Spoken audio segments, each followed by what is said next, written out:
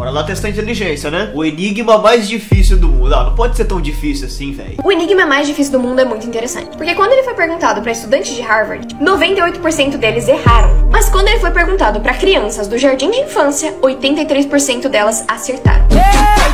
Então não é um enigma difícil, é um enigma pra gente burra. As criançadas de hoje em dia também já nascem com o celularzinho na mão aprendendo as coisas, pô, pra elas é fácil mesmo, é. Você acha que os estudantes de Harvard eram espertos assim quando era criança? Essa criançada vai dominar o mundo ainda, filho. Então se você errar esse enigma aqui, E a gente é burro. Saiba que as criancinhas acertaram, mas que você tá perto dos estudantes de Harvard. Eu faço os ursos polares brancos. E eu vou te fazer chorar.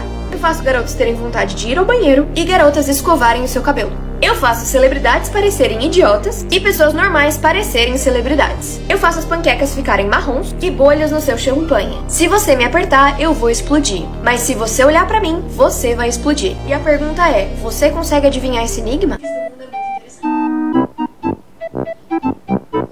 Mas isso é enigma ou relato de um usuário de droga lá da Cracolândia? Porque foi só isso que eu pensei. Se você me apertar, eu vou te explodir. Eu consigo fazer gente desconhecida ficar famosa.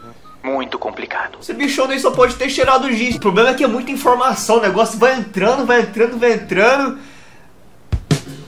Ah, ainda bem que existem os comentários, né? Pra explicar tudo pra gente. Saiba que as criancinhas acertaram. Vocês sabiam que vou lançar um livro? Eu falo que essa bichona fala coisas sem sentido, velho. Você consegue adivinhar esse enigma? Não. O povo tá falando aqui que a resposta é Não. O real enigma é a pergunta final. Você consegue responder? Simplesmente Não. Por isso as crianças acertaram e os estudantes não. Porque os estudantes tentou adivinhar um negócio. E as crianças já jogam tudo na lata que elas não sabem disso. É verdade, velho, porque, tipo, é um negócio muito sem sentido. Ela falou tudo aquilo pra enganar a trouxa. Então a gente precisa ser sincero nas respostas da gente pra gente poder acertar esses enigmas. Então eu vou começar a ser sincero pra caramba agora. Nossa, mano, que cagada, cara. Esse negócio é pra realmente testar a gente, porque a gente não pensa em falar não. Não. A gente tenta raciocinar tudo que ela falou e responder. Esse enigma foi inventado por uma pessoa bem filha da égua, minha minha cara. Quando ela terminou de falar, eu já não lembrava nada do que ela falou. Aconteceu exatamente a mesma coisa comigo, não dá pra raciocinar tudo, cara. O problema é que quando as pessoas estão explicando as coisas pra mim, eu não sei que, que nível de idiotice que eu tenho na minha cabeça, que eu já fico pensando em piadinha pra essas coisas. A minha cabeça parece que é piada 24 horas por dia, eu sofro desse problema, isso é um problema pra mim. Acho que é o sol. Ixi, acabei de achar o comentarista mais burro do que todos nós, viu? Parabéns, cara. Água.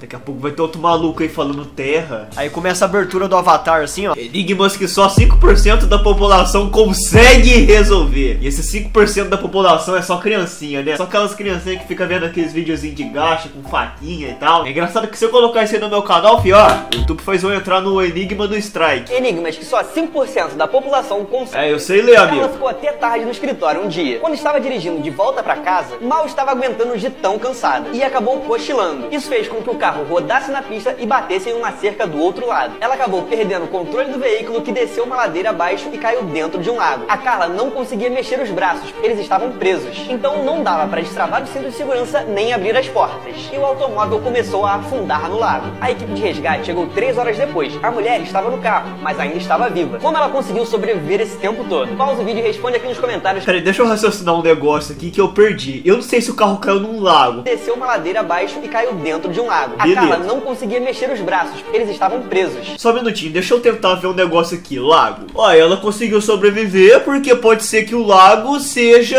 raso. Não que todos os lagos sejam rasos, mas pode ser que o lago seja raso e ela ficou lá até o resgate chegar. Pronto, resolvi o enigma. A resposta é que depois que o carro chegou no fundo do lago, a água só chegou até a garganta da Carla, porque o lago era bem raso. E aí? Ai, eu acertei, diacho! Eu acertei, meu irmão! Acertei esse diacho, eu sou o cara mais inteligente do mundo.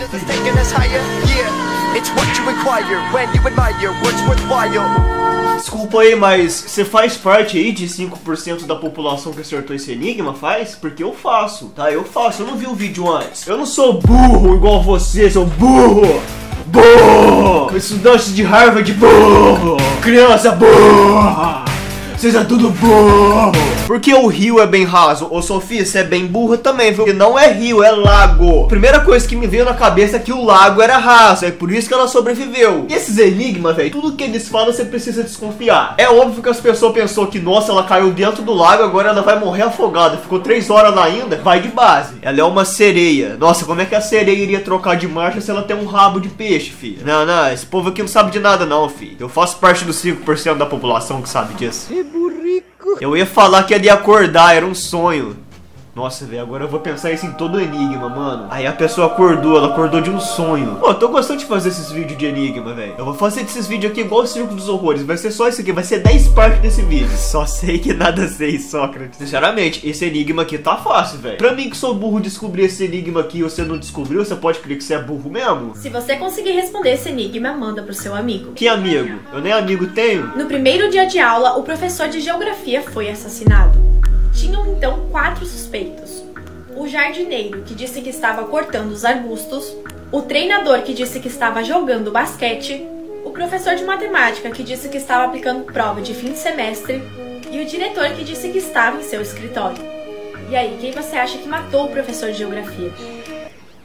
Essa aqui me pegou, velho. Ué, nenhum. Já que todo mundo tava ocupado, como é que eles iam ter tempo pra matar o professor de geografia? Aliás, eu imagino quanto que os alunos que iam ter aula com esse cara nesse dia ficou feliz, hein? Futebol na quadra, queimada.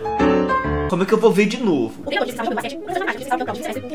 Nossa, porque, tipo, é muito burra a maneira de como esses quatro suspeitos teve culpa na morte do cara, velho. Então, nenhum, não foi nenhum deles. Essa é a minha resposta. Agora vamos ler os comentários. O problema é que a fé da mãe não deixa a resposta aqui no vídeo. O professor de matemática, porque era no início do semestre. Nossa, será que eu vou errar isso, velho? Ah, por mim era um sonho então, pois ele tá passando prova de fim de semestre e era o primeiro dia de aula. Suspeito, otário. Caraca, mano. Nossa, eu nem pensei nesse negócio, porque nem semestre eu lembro o que, que é mais. Ó, pô, fala que eu sou burro, velho, mas quando vocês saírem da escola, vocês vão esquecer de tudo que vocês aprenderam, filho. Só se você tiver cérebro de elefante mesmo. A única coisa mesmo que eu lembro da escola era o recreio e a hora de ir embora. Então a resposta do professor de matemática, mano. Falhei nessa, hein? Essa aqui é até mais fácil. Você só precisa prestar atenção mesmo. Apesar que todo enigma você precisa prestar atenção, né? Mas será que esse povo aqui acertou o enigma lá dos 5%? Eu acho que não, né? Certa vez, um serial killer que estava foragido resolveu sequestrar cinco pessoas diferentes, dois homens e três mulheres. O criminoso, além de matar, gostava bastante de fazer joguinhos. Ele era um completo insano. O serial killer fez todas as vítimas ficarem ajoelhadas. Deu para cada uma delas dois comprimidos e um copo d'água. Ele então disse para as vítimas: Vamos brincar de Matrix? Dependendo do que você consumir, pode viver ou pode morrer.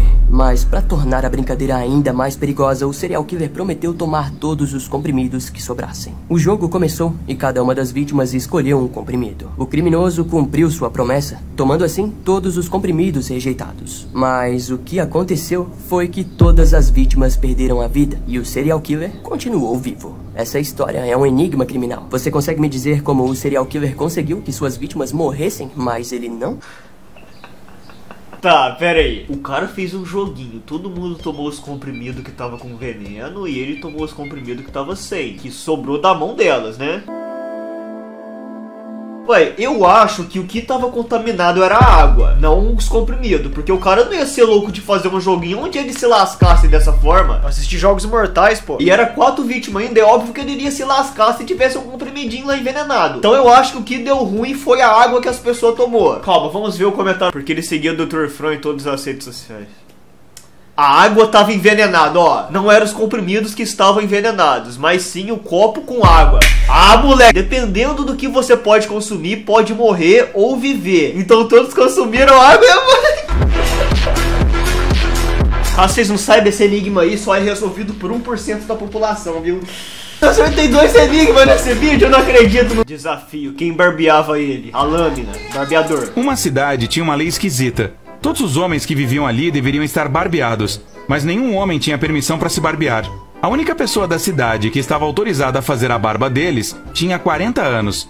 Mas sendo assim, quem barbeava essa pessoa? Ué, ele mesmo. Ele era a única pessoa que tinha permissão pra se barbear, então ele mesmo. Vamos lá.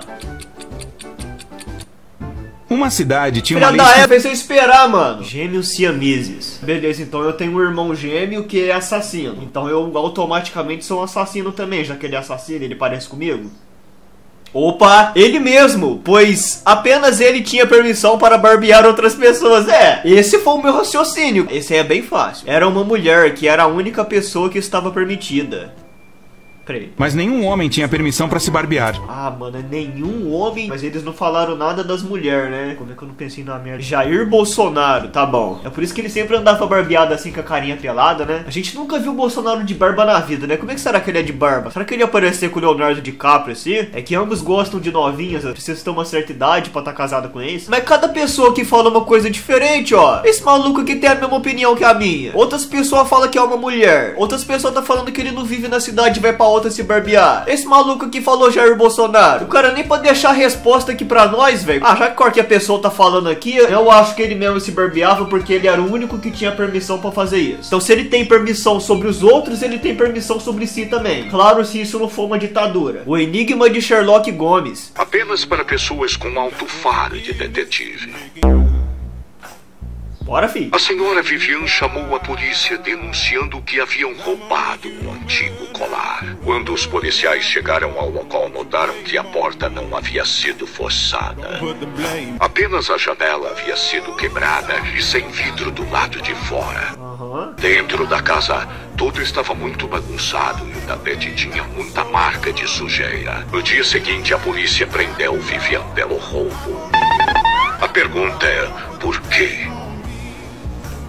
Porque ela mesmo armou o próprio crime pra ela, ela mesmo se roubou e ela mesmo foi presa por ter se roubado. Já vi um crime desse de perto. Isso foi o que eu entendi, né? Apenas para pessoas com alto Esse cara falar. denunciando que haviam roubado Roubado um colar, velho. Quem é que vai fazer todo esse furdunço pra roubar uma miséria de um colar? Só se for esse colar aí, ó. A Vivian que roubou o colar porque em momento algum falou que a casa era da Vivian e ela que planejou tudo. Ué, mas se a Vivian que chamou a polícia pra relatar um roubo que era numa casa, por mim a casa era dela. Mas mesmo assim eu acertei de novo. Eu já tava meio desconfiado que era a Vivian que tinha se auto-roubado. Ela forjou o roubo pra receber o seguro. Amanhã é uma Peak Blinders então, é. Porque a janela foi quebrada pela parte de dentro para culpar alguém de roubo. Pronto, foi a Vivian. Safada, mano.